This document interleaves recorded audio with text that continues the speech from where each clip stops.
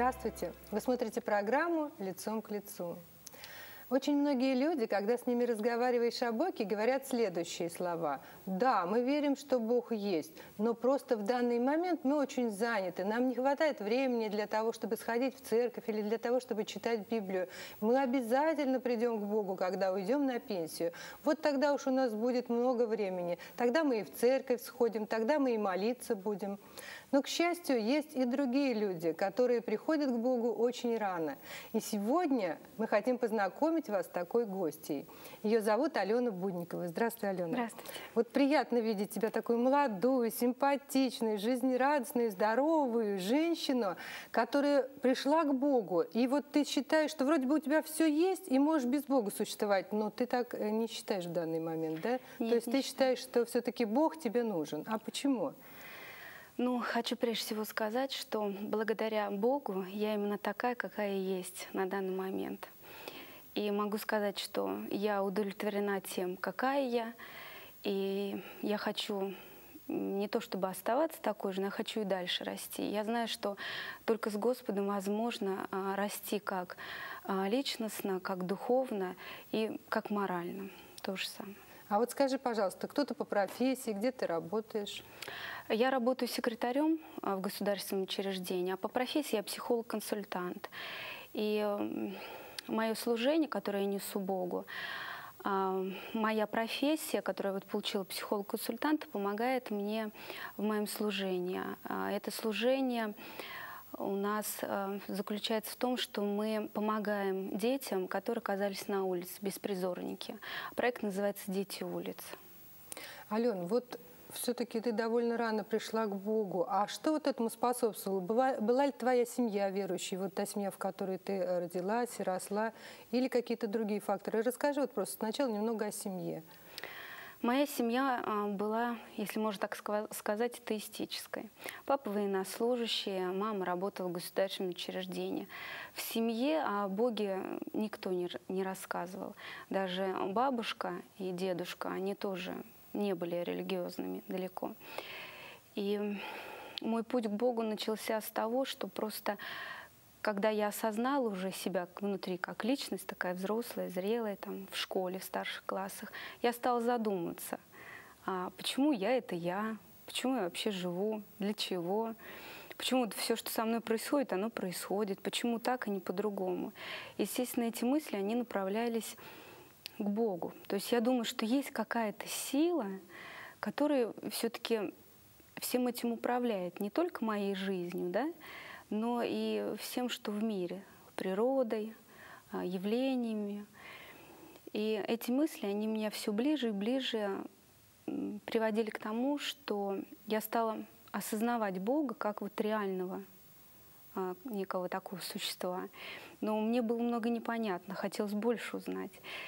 И вот сейчас я могу сказать, что как бы анализируя прошлое, Господь всегда а, помогал мне, отвечал на, свои, на мои внутренние вопросы, потому что вне, внешне никому я эти вопросы не могла задать, так как была девочка неуверенной, а, родители на эту тему никогда не разговаривали, а мои вопросы «Есть ли Бог?» они непонятно так отвечали, непонятно для них, знают они вообще не знают, и как они к этому относятся. А ответы, конечно, конечно же, хотелось услышать. И помню, когда я была в санатории еще, уже подростком, э, Господь мне послал медсестру, которая была верующей. Я помню, она мне тогда подарила небольшую брошюрку из Библии, цитат, несколько э, цитат. И это была моя такая маленькая мини-библия. После этого я, да, я после этого э, стала мечтать о том, чтобы у меня появилась настоящая Библия. Алена, а вот в каком году это было? Это был, наверное, где-то 88 или 89 год. То есть все равно это как помню. бы еще самые такие начатки. Только-только стало открываться все, да? Да. Потому что 88-89 год это буквально только-только. Еще, наверное, Библия все равно не была даже так распространена в то время. Не была распространена, но где-то в начале 90-х годов уже по телевизору стали показывать всем известный мультфильм, мультсериал «Суперкнига». Да, супер я каждое любили. воскресенье с таким упоением ждала, когда очередную серию будут показывать. Я, я мало там что понимала, но для меня это было такое великое счастье вот смотреть каждую серию. И я ждала с удовольствием. То есть тебе это было действительно интересно. Вот. А как дальше развивались вот события? Дальше я закончила школу, пошла учиться в училище. А в училище я пошла учиться на кондитера-конфетчика лишь только для того, Ой, как вкусно. чтобы э, не учиться. Я учиться не любила. У меня стимула не было, я не понимала, зачем надо было учиться. А мне там сказали, что там учиться не надо. То есть можешь больше гулять, меньше учить. Я пошла туда учиться. И даже в этом было Божье провидение, потому что именно там я познакомилась с девочкой в нашей группе, которая оказалась верующей. А, учились мы там три года, и первые два года я наблюдала за ней со стороны. Тогда я была уже таким взрослым подростком и стеснялась а, к ней подходить открыто, задавать вопросы о Боге, потому что она вела себя не так, как все, и одевалась не так, как все, несмотря на то, что она наша ровесница. Но вместе с тем, несмотря на то, что э, девочки другие ее пытались унижать, пытались как-то оскорблять в связи вот, с ее принципами, которые она несла и не скрывала совершенно. То есть она была белой вороной в вашей группе? Можно сказать, что она была белой вороной. И меня восхищало ее поведение, отношение к людям. Вот они ее оскорбляют, она не позволяла себя унижать, но вместе с тем она с достоинством себя защищала, не оскорбляя никого. Я со стороны все это наблюдала, искренне этому удивилась. И с каждым разом я все ближе и ближе как бы к этой девочке старалась осторожно, аккуратненько подходить, да, чтобы вроде и меня там не обсмеяли, что вот ты там да. что-то к белому случай, да. да, подходишь. Ну, сама не уверена была, что тут объяснимо все. Вот. Где на занятиях сяду вместе с ней за парту, спросишь у нее один-два вопроса. А в начале третьего курса уже мы стали с ней сближаться, и мне уже было все равно, что про меня подумать, потому что вот эта, видимо, жажда знания о Боге настолько уже сильная была, что мне было все равно. И вот она мне рассказывала о Боге, она мне э, подарила Библию, о которой я всегда мечтала. И она мне, можно сказать, опекала, она мне была неким таким наставником. Я могла ей задать вопросы, она а, отвечала мне, она поддерживала меня. Даже если я была не права, она а, всегда говорила мне, ну, в чем как бы была моя ошибка, и вместе с тем даже предлагала, давай помолимся, видишь, что я переживаю, да, и она, можно сказать, меня научила открыто, откровенно молиться, то есть разговаривать с Богом потому что это тоже для меня было непонятное. Ну, я... Потому что была общепринятая форма молитвы, да, да мы знаем. Да. А все-таки индивидуальный разговор с Богом это нечто другое и намного более важное. Да. То есть вот ты как бы хотела в чем-то быть похожей на эту девочку, да? Я не то чтобы была, хотела быть на нее похожей, нет, я бы не сказала так. А, в ней я, наверное, тогда, на первый момент, увидела а, отражение э, Христа, который вот жил на земле, потому что условия, в которых я как бы росла, дружила с друзьями, были совершенно противоположными. А благодаря ей, ей узнала, что, оказывается, можно а, жить по-другому. И это интересно и здорово, несмотря на то, что ты верующий, тоже они умеют радоваться, умеют шутить, и вместе с тем это так все а, здорово, естественно, никого не оскорбляет, никого унижает, унижает, как это принято у молодежи, никого, никто никого не обсмеивает. Мальчишки в присутствии, э, да и друг друга, и девушек не курят, не матерятся. Меня вот это очень сильно восхитило. Отсутствие какой-то явной пошлости, да, явной грубости, пошлости, вот да. Вот, что действительно нас очень огорчает и утомляет. И вот когда я с ней подружилась, когда она меня стала знакомить со своими друзьями, потом, когда она меня пригласила в церковь, я поняла, что вот это как я все выражаюсь, это моя тарелка, я хочу в ней вариться. То есть я почувствовала себя просто, что вот там вот я живу, что да, у меня будут еще вопросы, но я знаю, что я их смогу здесь как бы найти ответы на эти вопросы. То есть что-то родственное и родное ты там почувствовала, родное, да. вот как, как бы какая-то часть тебя? Я очень этому радовалась. Я знала, что а, я буду в церкви, и я буду в ней расти, развиваться, у меня будут друзья. И на самом деле они у меня были, есть и будут. Я уверена в этом.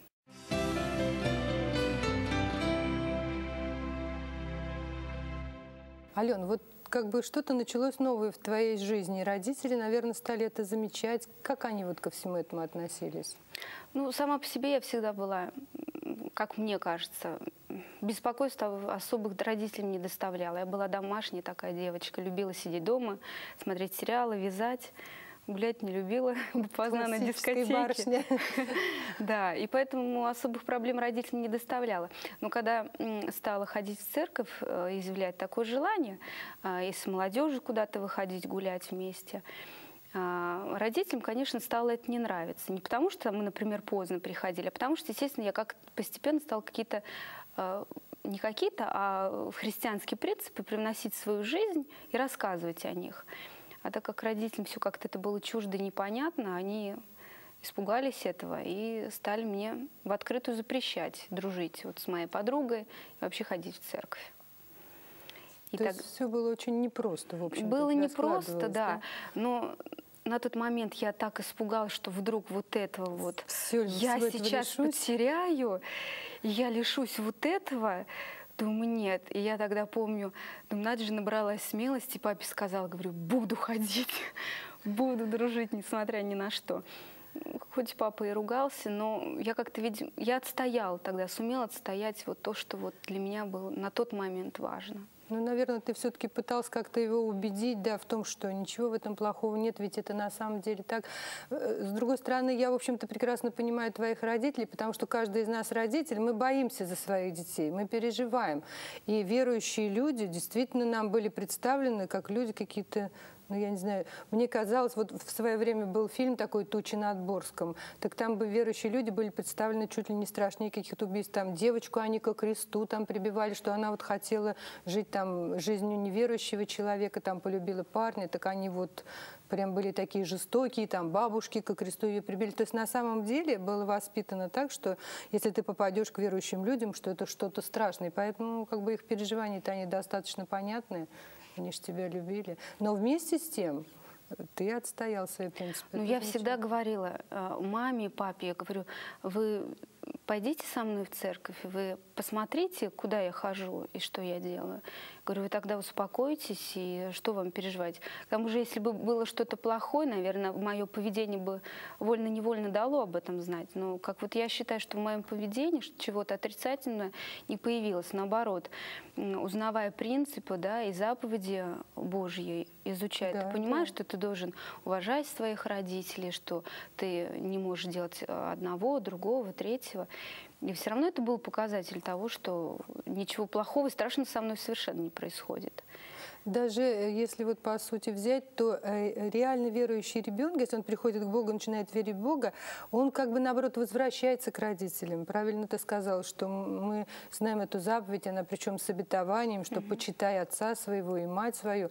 Общеизвестно, что, что сейчас очень много хамства среди детей, грубость, непослушание. Я уж не говорю вообще о страшных вещах, когда дети там вообще не работают, там принимают наркотики или пьют и вообще за счет детей, или вернее за счет родителей родителей своих, причем часто престарелых, которые получают крошечные пенсии, они пытаются там за счет них жить и я вот знаю, приходила женщина, которая просто избивает сына, это страшно. И только Бог, на самом деле, Он как раз вырывает человека из всего этого и возвращает родителям да. именно такого покладистого э, ребенка там, или уже взрослого сына, там, взрослую дочь, и они начинают уважать, независимо причем даже, какие были родители, они начинают понимать, что родителей все равно надо уважать. Хороший он или плохой, вот Бог дал таких родителей и нас учит этому. Поэтому, в принципе, не нужно родителям бояться. Это уж мы сейчас с тобой рассуждаем для тех родителей, у которых в данный момент, может быть, дети стали ходить, ну, идти, находить Бога. Я потому что знаю тоже таких родителей, они ко мне однажды пришли и говорят, слушай, что-то страшное с нашим сыном происходит. Мы прям боимся, он прям стал читать Библию, что-то молится, какой-то ужас, что с ним происходит. И я вот им это рассказывала, говорю, «Ну, вам не нужно бояться, потому что ничего плохого Бог с собой принести не может. Ну, естественно, если это там не какая-то там страшная тоталитарная секта, каковых, в принципе, достаточно мало. Вот, а если реально человек приходит к Богу, то можно только быть счастливым и радоваться от того, что там ребенок вдруг захотел узнать о Боге там, и начал ходить в церковь.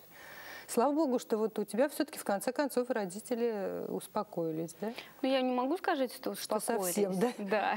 Они все равно до конца не согласны А вот этим. интересно, они пришли ли они хоть когда-нибудь, чтобы посмотреть, куда ты ходишь, или так и не пришли? Только на венчание. Только на венчание уже. И то потому, что я попросила об этом их родителей, говорю, вы должны быть там я хочу это. Если и вы меня любите, на, я нашли хочу. в себе силы. А так в этом отношении у меня вот папа, он очень принципиальный. Ему все, а, что связано с религией, это чуждо. Потому что вот мой папа, например, считает, что вот моя религия – это моя семья, как он говорит. И сложно ему прийти и поверить э, в Бога, наверное.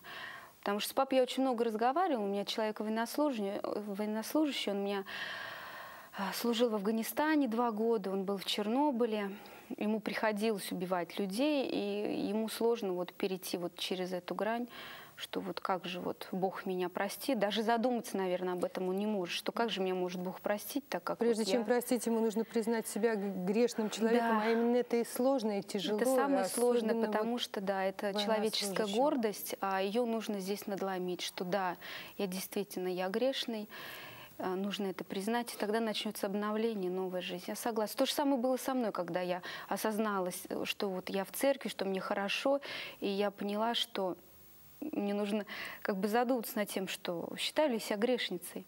И могу сказать, что это было нелегко, потому что я говорю, я, не- мне казалось, что я вообще как бы беспроблемный ребенок. Я бесконфликтный человек. Мне нравилось, всегда нравилось делать добро, помогать людям. И казалось бы, ну что в этом Совершенно плохом? Это, это очень в мире, люди это в мире совершенно нормально, да.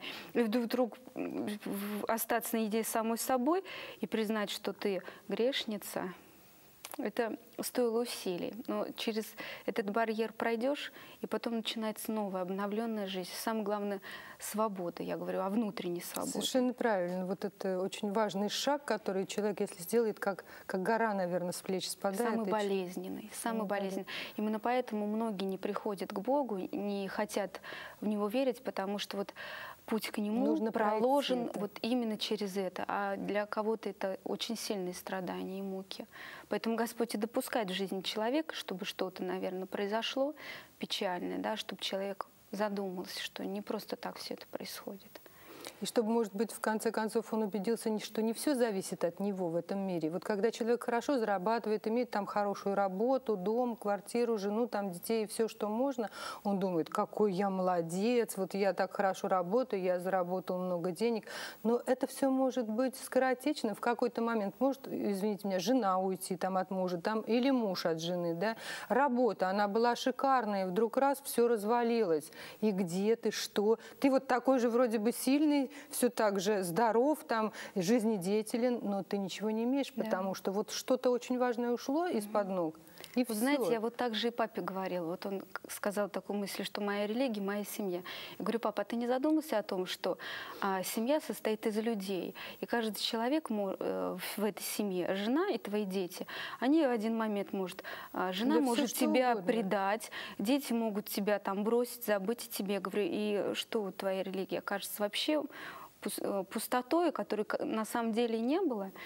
Я говорю, это не к тому, что говорю, я вот так с тобой поступлю. Говорю, я просто хочу привести тебе пример, что семья это не та опора, на которую нужно возлагаться. Вот в, в таком смысле я имею в виду, чтобы Совершенно как правильно. ре- это как то, что может религия. разрушиться. Семья Да, действительно это такой что- хрупкий организм, тем более в последнее вре- время мы это постоянно видим, да, что очень много там разводов, что бросают в любом состоянии там и жены мужей, и мужья жен, и по много раз люди имеют там своих как бы э, а- одного мужа, другого и третьего, Сейчас уже даже как бы раньше какой-то даже закон, который там запрещал больше, я не помню, что там трех браков или сколько, сейчас, по-моему, вообще бесконечно. То есть люди этим увлекаются, и поэтому на самом деле самое неустойчивое, что может быть. Да. Ну и потом еще видишь, твой папа военный, а ведь, э, как известно, что во... именно в среде военных даже были специальные структуры, там, ну, типа политработников, комиссаров, ну и так далее, и так далее, которые специально ведь занимались формированием определенного сознания, ну, да, да. а суть этого сознания в том, что Бога нет, что вы сильный, что вы должны воевать, там, завоевывать, отвоевывать. Да. Поэтому, наверное, военнослужащим нелегко прийти. Сейчас, правда, время изменилось, но ведь твой отец из прошлого, сейчас там есть даже священники, мы знаем, что даже капелланы всякие в армии благословляют там и даже открывают молитвенные там дома или церкви. И, в общем, ну, как бы другое время, поэтому современным военным это намного легче сделать, а вот тем, кто раньше жил, это на самом деле очень да. сложно.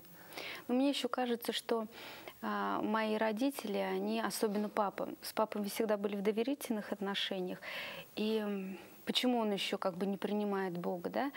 А, он а, недавно мне такая мысль пришла, что он просто к нему, можно сказать, ревнует. Потому что раньше для меня папа, он был такой авторитет.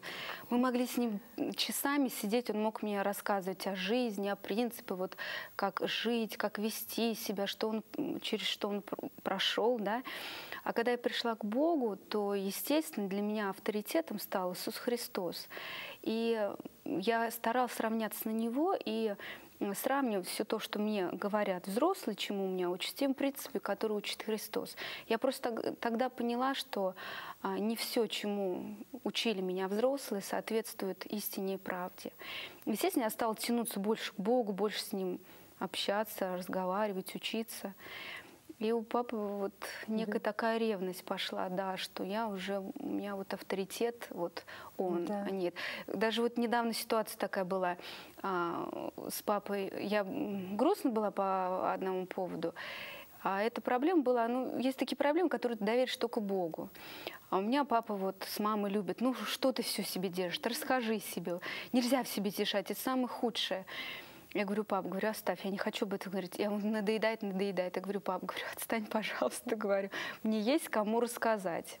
Вот об этом мне есть кому рассказать. Он говорит, что, Богу своему? Я говорю, да, ему.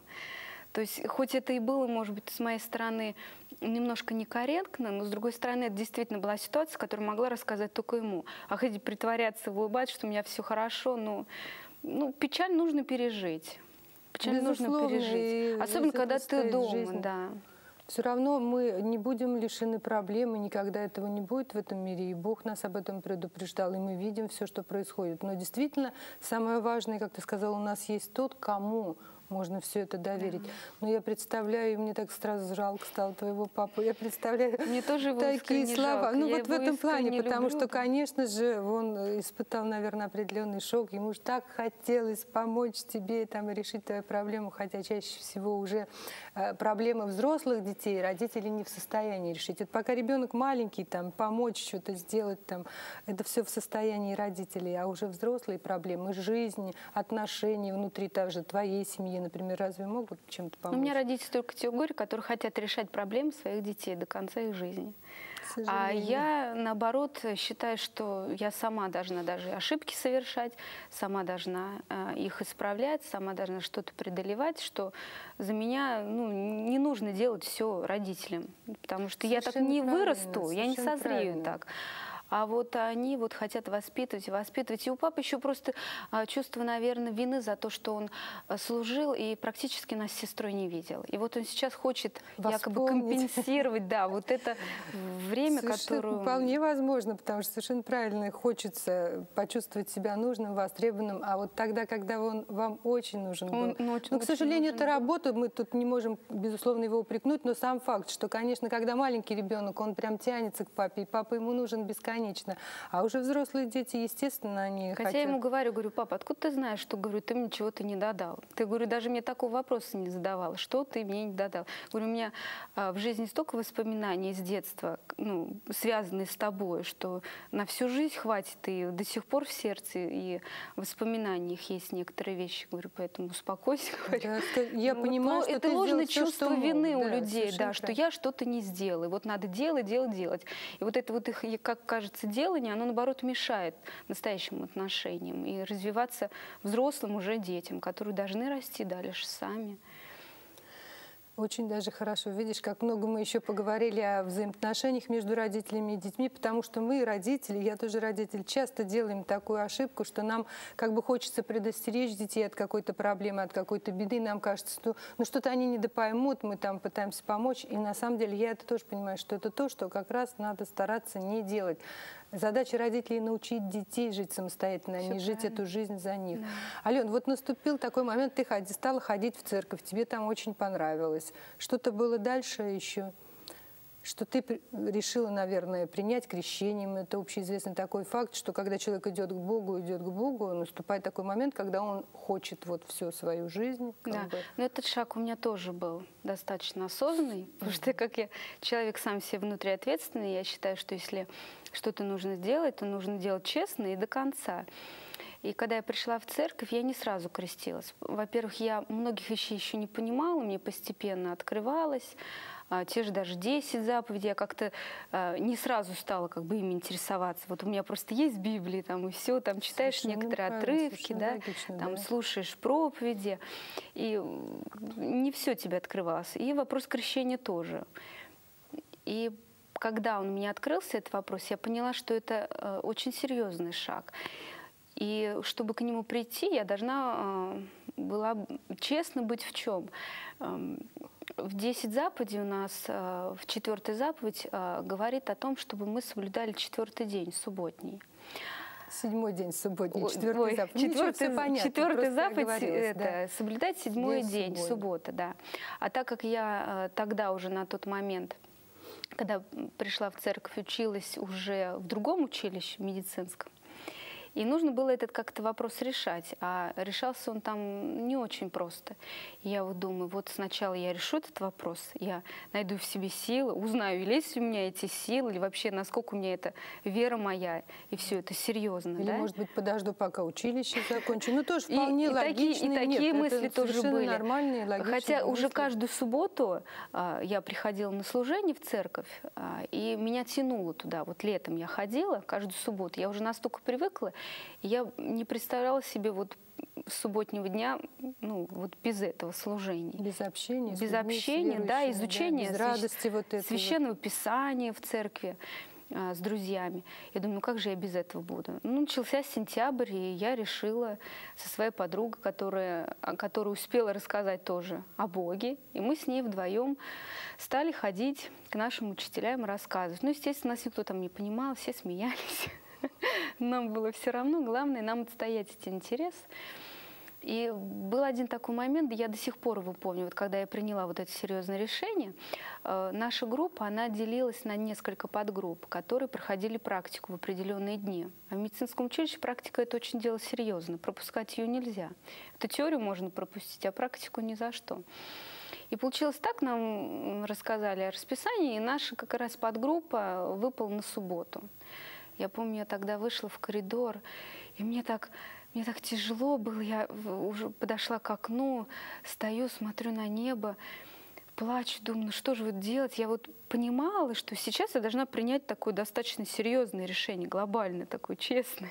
Да, и какой-то тупик как будто бы. И тупик, и я понимаю, что как же так вот, а мама с папой, они расстроятся, они ругаться опять будут, и так они против того, что вот я в церковь хожу, что я верующей стала, еще тут такие проблемы узнают. То есть ты имела в виду, что вплоть до того, что ты могла бы прямо из училища уйти? Конечно, если я практику не буду э, То тебя посещать, просто м, исключили, Конечно, да? конечно, потому что это все серьезно. И вот я тогда стояла у окна, я поплакала, так помолилась, успокоилась, думаю, ну, будь что будет, но я хочу быть с тобой, Господь. Я хочу в субботу быть в церкви. И я разворачиваюсь и иду э, в аудиторию. И оказалось так, что э, ошибка произошла. То есть нашу группу спутали с другой группой. То есть наша группа в пятницу была Какое же это счастье было для тебя? Ну я же думаю, ну надо же, это произошло не раньше, не позже, а именно вот в тот момент, когда я приняла для себя решение, да, вот такой твердо внутри себя, да, хотя оно уже как бы проблемы-то как таковой не было. Но для меня-то она была, потому что я, я же не знала об ошибке. Я такая даже немножко себе думаю, ну я же все-таки, значит, могу отставить. То есть это возможно, это не вот там что-то такое заоблачное. Значит, человек может отстаивать свои принципы. И после этого, хоть с каждым разом это было нелегко, там, теорию отпрашиваться по субботам, но, слава богу, отставили свои интересы. И что самое удивительное, когда училище заканчивали с подругой, нам казалось, э, это, учителя будут рады поскорее от нас избавиться. А произошло крайне наоборот все, потому что учителя подходили, нас обнимали, говорят, какие вы, девчонки, молодцы-то. То есть так удивительно было, думаю, ну надо же. Увидели нас, видимо, э, сильную личность, которая не боится отставить свои принципы. На самом деле именно так и происходит, Ален. Когда человек все-таки принимает решение и потом отстаивает свои принципы, если сначала может кто-то там хихикать, хахакать, то потом все равно люди начинают испытывать уважение да. к человеку, который имеет какую-то свою позицию, что он может отстаивать, и что он вообще даже не такой, как все, потому что быть очень нелегко другим человеком. И в этом есть особое такое вот уважение к человеку, который все-таки может это сделать. Ну, могу сказать, что мне и до сих пор сейчас некоторые зовут и белый вороной, что это всех отличать. Но сейчас я это воспринимаю как достоинство. Даже как, да, как достоинство. Слава Богу, что все-таки мы верующие люди хоть чем-то отличаемся. Да, говорю, ну выделяясь из общества, ведь потребность человека любого это а, отличаться чем-то от других. Да, я говорю, а Безусловно. меня это уже заочно от всех отличает. Поэтому, говорю, для меня это даже плюс Совершенно в мою сторону. Правильно. Ты ощущаешь свою индивидуальность, что да. ты можешь вот быть такой. А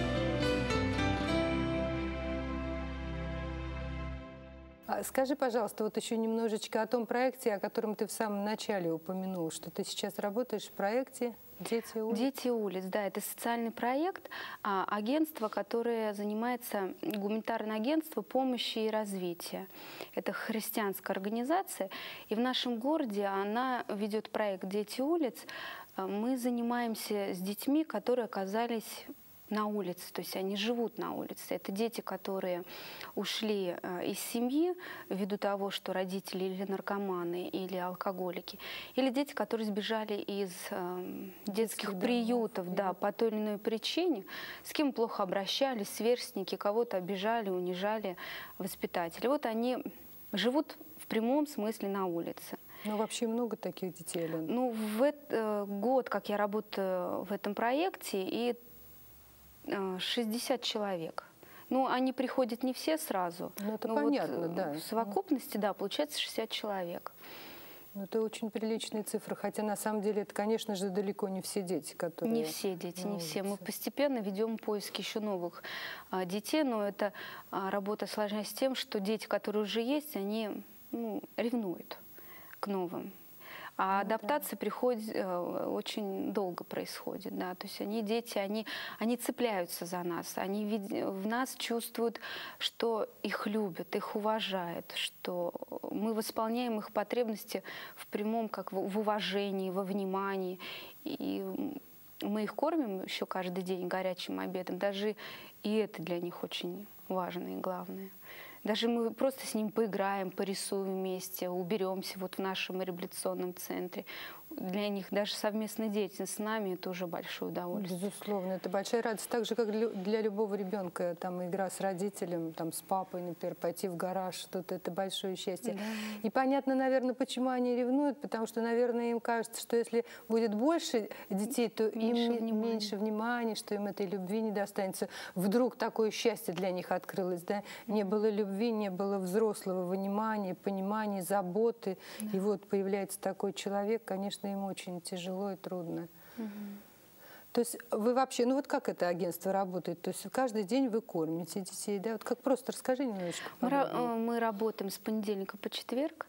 А ребята приезжают в определенное место в назначенное время. Мы прежде всего их сначала накормим, так как дети Они, конечно, бывают, э, поедят где-то что-то. Ну, это понятно, какие-то перекусы. Да, но больше они дорожат вот этой вот домашней пищей, которую им готовят, теплую, горячую. А кто это делает? Вот У нас есть социальный готовят? работник, женщина, которая готовит это все для ребят. Они с удовольствием это едят, делают заказы, чтобы они хотели на следующий раз. Да. Вот. Э, и потом э, вот Лариса, она занимается социальными вопросами, если у ребят есть какие-то там, например, кому-то э, документы оформить, они потеряли паспорта или еще что-то, там позвонить кому-то, написать, то есть вот такие вопросы. Mm-hmm. А я непосредственно с ребятами работаю как психолог-консультант.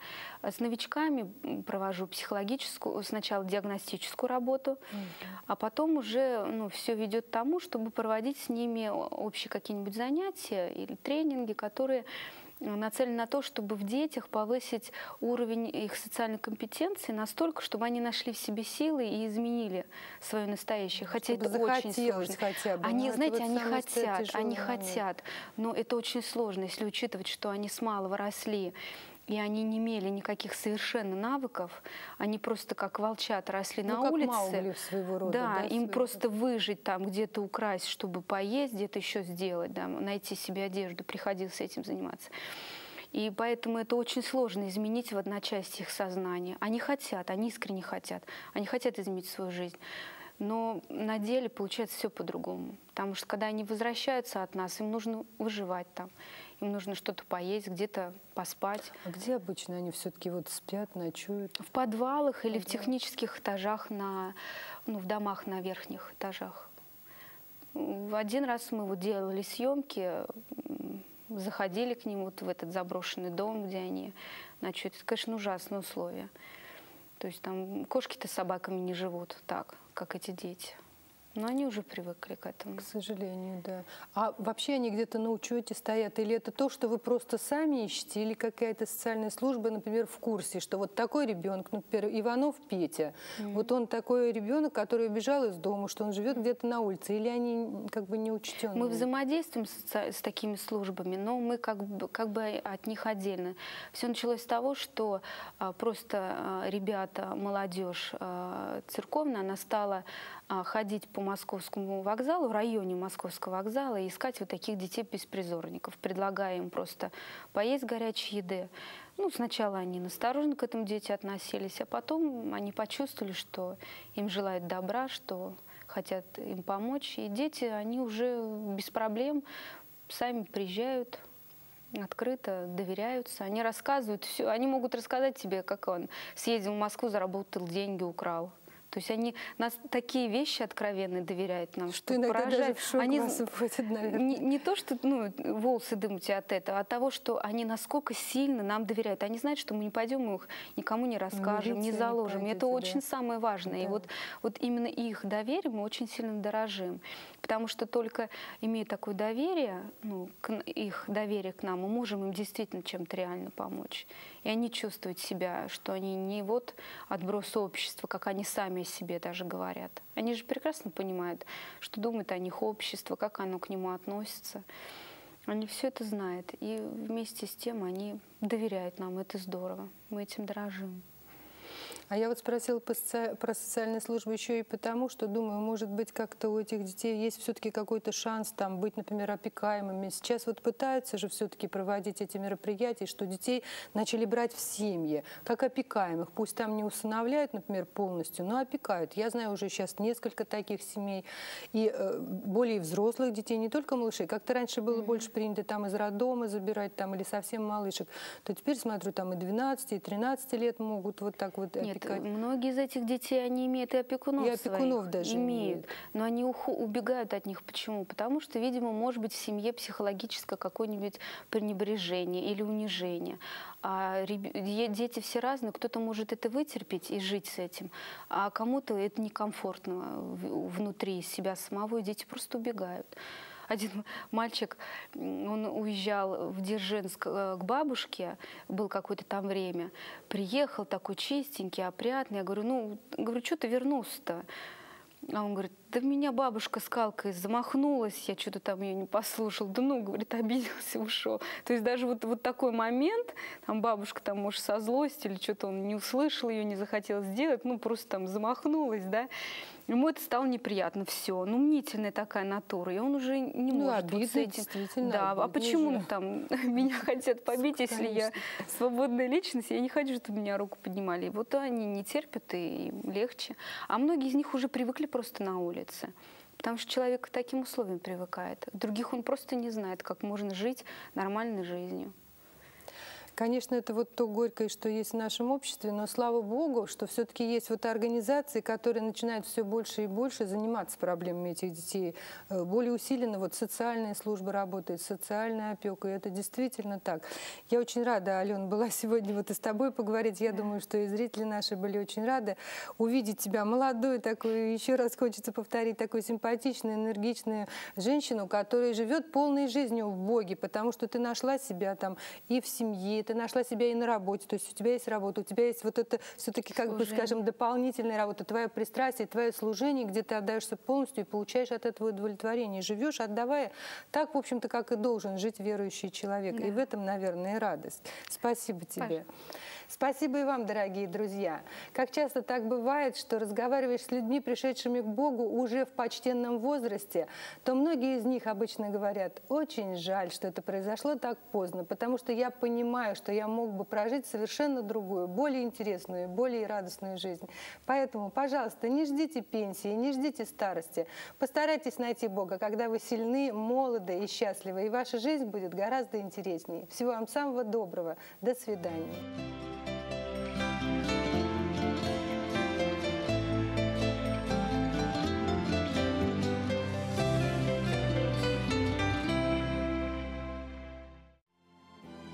Утро – это начало дня. Рождение – начало новой судьбы. Начало вдохновляет. Новое дает надежду. Мы считаем, что каждый человек может начать новую жизнь, открыв однажды Библию. Если многое в ней вам покажется непонятным, не огорчайтесь. Это начало пути. Мы с радостью поможем вам преодолеть сложности – Заочные библейские курсы «Новая жизнь» – это изучение Библии по урокам, которые, по вашему желанию, мы будем вам регулярно, бесплатно высылать. Когда вы выполните половину уроков, мы пришлем вам в подарок книгу «Путь ко Христу». По окончании курсов вы получаете бесценный подарок – Библию. Заявки присылайте по адресу 603-028, Нижний Новгород, абонентский ящик 9 телепрограмма «Лицом к лицу».